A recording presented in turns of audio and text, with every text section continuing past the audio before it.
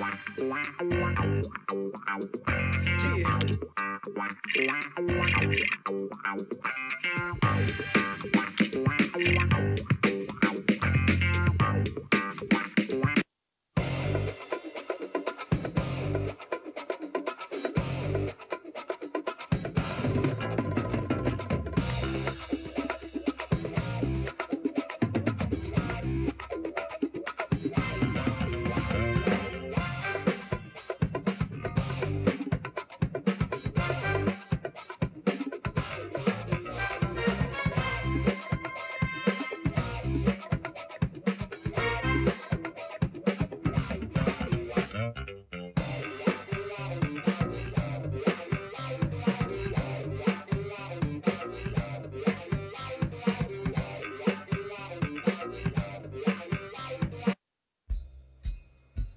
Lego City. The greatest city in the world. The city where I became a cop. Which is how this story begins. That's Chief Gleeson. She runs the police department. She's tough, but fair. And that is Deputy Dunby. He's tough, but unfair.